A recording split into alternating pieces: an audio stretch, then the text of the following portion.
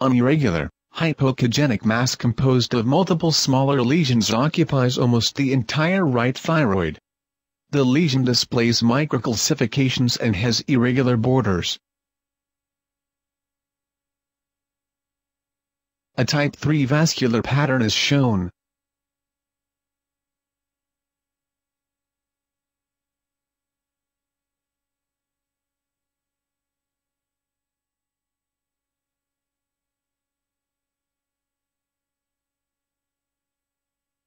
There is a similar nodule in the left lobe with microcalcifications, irregular borders and a type 3 vascular pattern.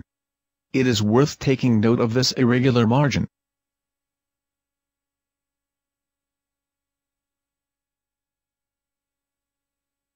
There is a metastatic lymph node lateral to the left thyroid with an echo pattern identical to the primary papillary cancer focus.